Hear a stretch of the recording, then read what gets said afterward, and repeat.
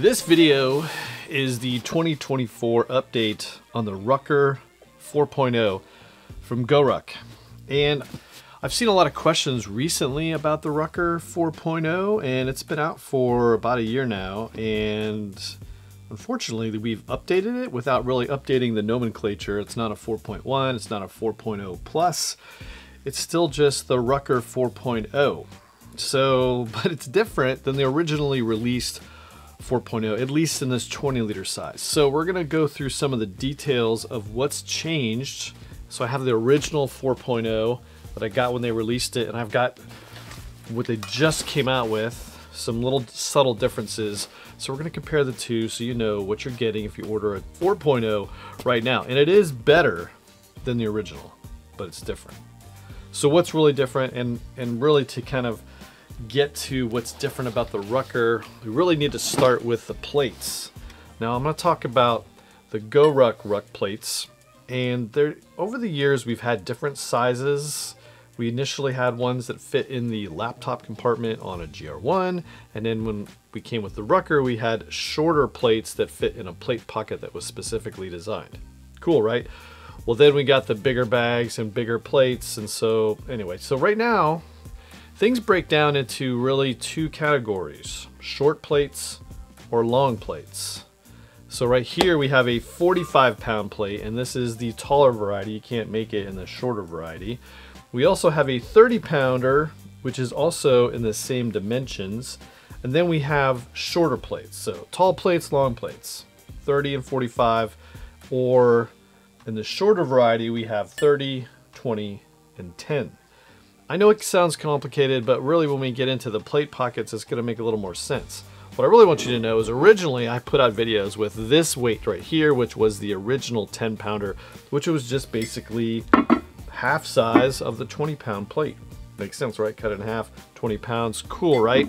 Well, those are no longer here. We now have, if you order a 10 pound plate, it looks just like the same profile as the shorter plates. And the genius of this is when you're starting off, if depending on you, where you want to start, you can start with a 10 pounder, put it in the short plate pocket, more about that when we get to this 20 liter size. And then when you upgrade, you can get a 20 pound weight, cool. And then you can actually put the 10 and the 20 pound together to equal 30 pounds and the same profile as getting a 30 pound short plate.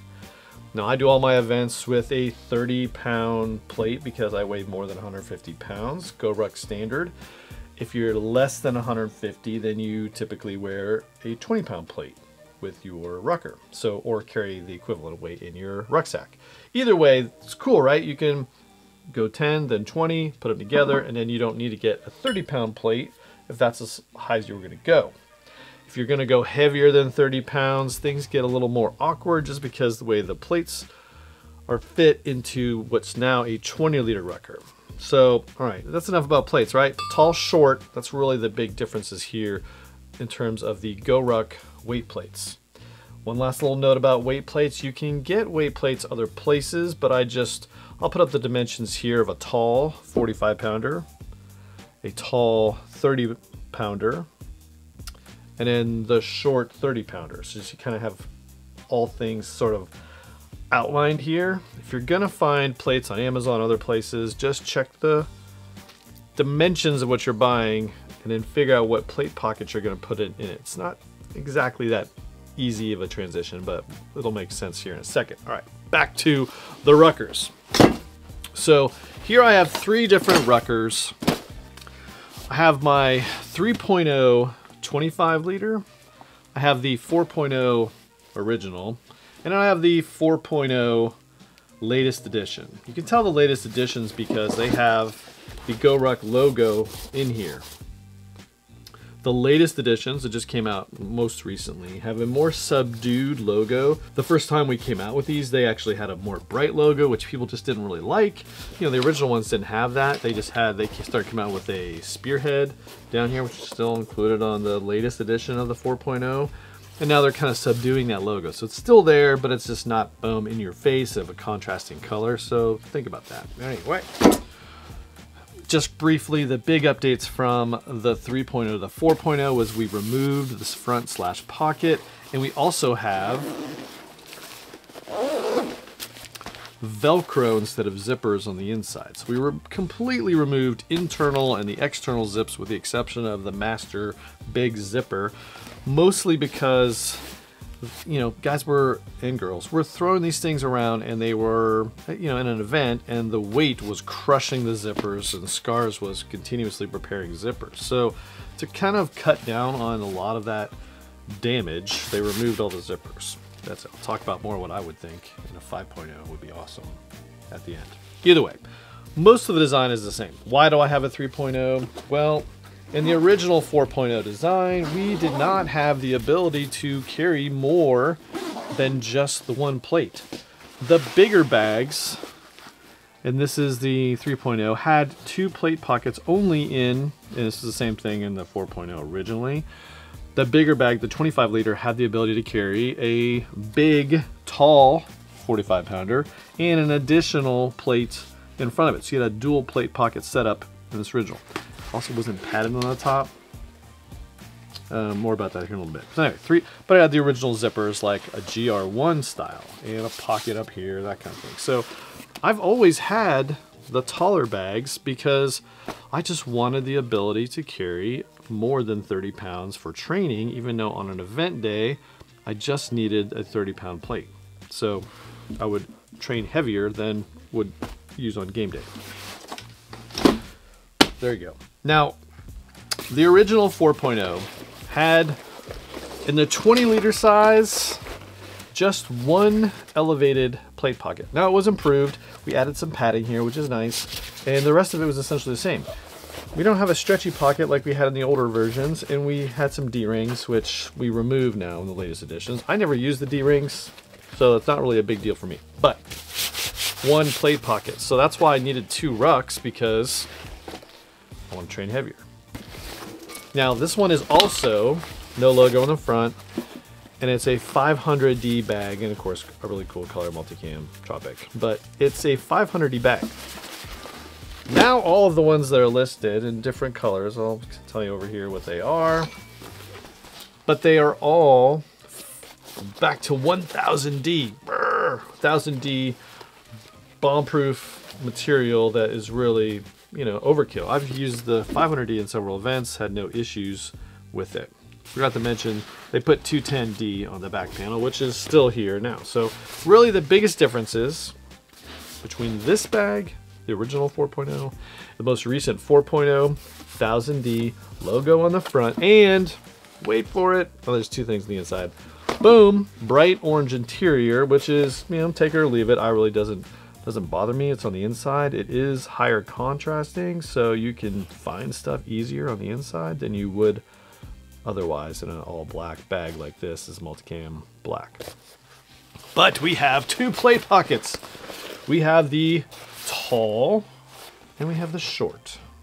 And we have the paddedness that we had uh, in the original 4.0 we didn't have in the 3.0 we have this pad on the front and we have a block on the bottom just kind of helps with the elevation of that weight plate drain holes everything else that you love in a rucker is still here. So really cool huh? D-ring of course for the hydration and uh, hydration port on the way out. So that's the inside of the newest 20 liter. Now there's one thing that I'm just not was never super stoked about the the dual pocket setup is when you put your 30 pound plate in here, if you're doing an event, there is a little bit of play, right? So it's just not kind of lashed down to your back like you would have in the original 4.0. One very minor little detail is you've got a little bit of play in here between what's in this out, outer pocket on the inside. So if you weren't going higher than 30 pounds, then you might consider just getting the taller 30 pound plate that would sit in this back pocket. You could also consider putting the short 30 pounder in the back pocket to have it more close to your back. However, you're going to have a little bit of issue with the it maybe sliding as you go down into a plank position, push up, burpee, bear crawl, that kind of thing. So something to consider. Still have all the other things that are in there. So there you go. Let's that's the differences. Let's put some plates in there just to kind of show you what it would look like, both in a game day for me, 30 pound mode, and in a training mode with the 45 pounder. Let's start with the heavyweight mode, 45 pounder.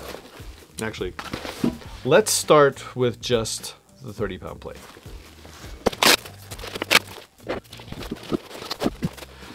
So putting the 30 pound plate inside the bigger tall pocket gives you a couple inches of space in there. Now you can cinch this pocket down and that plate is, you know, it's just got a little bit of room to slide up if you were down in a plank position. So I wouldn't recommend putting just the 30 pounder in this back tall pocket. You would put it in this outer pocket, which is, that's what it's designed for, this shorter plate. Pocket is very tight, fits in there just like you would want it, and then cinch it down. Now, just like I said earlier, this is slightly elevated, or it's slightly away from your back, and it's just got a little bit of room to play. So at the top, because the Velcro, it's cinched down, so it's really just a little bit of room back there. Not a ton, but just something to consider. If you really want this thing cinched down and locked down, you're gonna need either the taller 30 pound plate or one of the original 4.0s. So I don't know. All right, let's dial things up to a 45 pound plus mode. We'll start with just 45 pounder. All right, so here we are with just the 45 pound plate.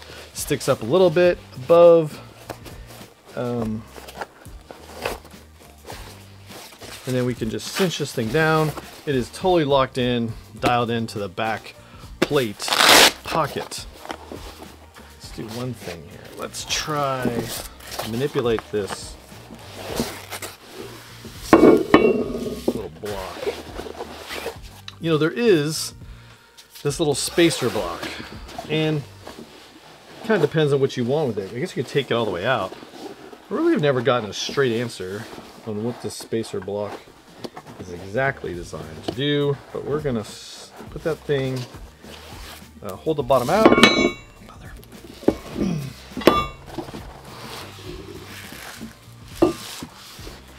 this thing dialed in. There you go. So basically that spacer block is now perpendicular to the bottom of the plate. Just gives it a little bit more better fit. Uh, and now, so what's cool about this is now I'm kind of dialed in 45 pounds around town. That's usually what I would do as I'm training. I train at a heavier weight than I would for game day weight. But this pocket, again, dual pads right here and on the other one, so you can put another plate in there If you really wanted to up your game, maybe just start with this 10 pound plate on the outside, cinch it down. And you can add the 20 pound plate under here. Now we have 65 pounds, right? Then if you just had this, add that all in there, 30, now we have 70 pounds. We just have a ton of capacity.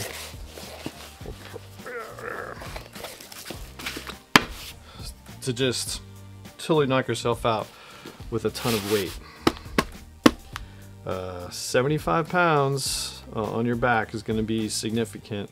Not something that you would do for a long duration event, but if you were just going to maybe do some circuit intervals, that kind of thing, or, you know, maybe you really are strong enough, but it's not something I would, me personally, routinely do. It would be for some short interval stuff. But there you go.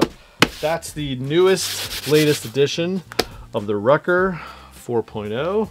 High-vis interior, double plate pocket on the 20 liter size, which I'm a big fan of because this, as it is, becomes a situation where you only need one bag to train beyond your 30 pound weight limit to add things and just really kind of do it. Does that mean I'm to get rid of my original? No, pr eh, probably not. Got some history with this one. It's a great color. No logo in the front. And the ability to just put a 30 pound plate in there is awesome. So this might be the game day ruck. Still with a 30 pound plate in all the time. I'll probably use like I have it here, the 45 and then varying the 10 and the 20 pounds. So you really just have a ton of versatility now with, you know, now two rucks. But you don't need to do it that way. If the 20 liter size was for you, then you can go this direction. Kind of brings me to another point, just so this video is sort of one-stop shop. I'm gonna show up some videos here, um, some photos of me with both a, now it's a GR1, but the dimensions of the GR1 21 and 26 liter is the same as the 20 and 25 liter Ruckers. So the, the dimensions that you're going to see here are the exact same in terms of sizing a bag for you. Now I'm 5'9", my torso is 20.5 inches tall. The dimensions of these bags are just the same as you've seen in the photos, so you can make a determination of for you, which one's gonna work better for you. At the end of the day, you really want this lumbar pad in the small part of your back and not sort of on your tailbone or lower than your shorts line because that's going to cause some irritation. So there you go. Some accessories that you might want to consider for the rucker if you are just getting one. First of all, you're going to need a rucker and you need a plate. Now, they're all coming with sternum straps that are colored matched to it. So this one has black, this one came with a coyote, and it's cool, right? The only other accessories that you might want to consider is first, you might want to consider from GoRuck their hip belts because the hip belts are specifically designed for the rucker in terms of making it work. Now this is, and what's kind of annoying is originally the when I bought the Rucker 3.0 25 liter, they came with hip belts. They don't do that anymore. So you're gonna have to go get yourself a hip belt. This is, happens to be a multicam black one, which is cool because now I'm gonna use it here. But otherwise, you just get a black one for the multicam black, um, or check the website out for different colors. These are unique because they have the webbing, MOLLE webbing that they attach to the webbing on the side of the rucker so you can have a hip belt. Now I don't ruck around with a hip belt typically. It is if I'm doing a long endurance event is an alternative way for me to uh, loosen the straps, have the weight on my hips. But as I'm rucking, it's most, most of the weight is on my shoulders typically as I'm rucking. This is essentially for an event where I'm gonna again be down in a plank position, that kind of thing to keep the bag from all sliding up my back and that plate connecting with the back of my head. So that's the purpose behind a hip belt for a GoRuck event. Again, longer duration event, you might have one just to kind of release some of the tension on your shoulders for a long range kind of event. So there you go. So that's accessories, hip belt, a hose retention clip for your hydration bladder. Definitely get a hydration bladder if you're gonna be doing an event. And then some clips, some sort of straps to put on your the MOLLE webbing on your shoulder straps to just give you another hand position uh, or lift the the ruck off of your shoulders occasionally just to release a little tension as well. So that's kind of briefly some accessories for the rucker. That's what's new about the plates and the rucker in the latest 4.0. Still don't have a front slash pocket and that brings me to the last part of the, well there's two more things I want to talk about. Uh, I'll finish off with my 5.0 request list, but right now let's ask or answer some of the questions you asked me about the Rucker. So let's just get to those questions. So first of all, uh, is all black coming back? Well, I don't know. GoRuck doesn't tell me what they're ordering. We do have a more black edition. I don't foresee them taking the logo off, at least in the near term, but they could maybe and the 5.0 if we ever see that. 500D versus 1000D, is it a big deal? I don't think so. I have beat this 500D one up and it's just doing uh, fine. There is about a half pound difference between this one and the newest edition. Now that comes down to two factors. One, bigger plate pocket in the latest edition and two going from 500 to 1000D. So mostly the plate pocket being the big difference there in terms of added weight, but it is a half pound heavier compared to the original 4.0. Why did we remove the D-rings inside? Um, I don't know. It's probably because most people didn't even know they were there or they asked questions what they were there for. They were handy if you were trying to hold down your bladder on the inside uh, with a strap that came across, but be honest, I never used the D-ring, so the fact they're gone is just um, trivia. What's up with the bright logo? I think they heard you. I think they heard people's complaining about the bright contrasted color logo and now they're going to more neutral or coded color coded to the bag color so like the ranger green had one the dark green so it's still there you can see it but it's more subdued not such a, a bright logo somebody asks is the velcro annoying to use if you are changing plates regularly I don't think so. I think the amount of Velcro is appropriate because you really want this thing not coming apart. When you're doing an event, you're gonna probably not be clean the whole time. There's dirt that's gonna get in these teeth of or the, the hook, sand, that kind of stuff, and it's gonna degrade the effectiveness until you clean it out of some of this hook and loop. So having more of it's better, um, and it's never, I would say, restrictive from moving these plates around. I think it's an appropriate amount and I've had no problem with it. Any chance for a clean, unbranded exterior to come back? I don't think so. I think this is what we're gonna have for the near term, but I don't know. Maybe with the 5.0, we'll go with a different direction in terms of branding. Got a couple other questions in here I'm hoping to get answers about, but brings me to my 5.0 wish list. How would I make this thing better? Now, I think we did one massive update to this that I really do like. And the fact is, that I can get a, a 20 liter bag with both plate pockets available to me. So that was again my big headache is the original one I couldn't use a 45 pound plate. I had to get the bigger bag which was counterproductive to somebody who was not tall enough to really to use a 25 liter bag. So now that we have that ability to carry both plates in the 4.0 I think we answered most of my biggest headache. Now there is one other one, that's zippers and pockets being removed in terms of functionality of the bag. First off, zippers. So the zippers on the inside, I will say I do miss them. And I would rather they be back. This is not very quiet. And it does get dirty and something after a while they're wet, they're sandy, these things just don't tend to stick as much as you know the zippers would be. I never really had any problems with my zippers. I never had any of them smashed.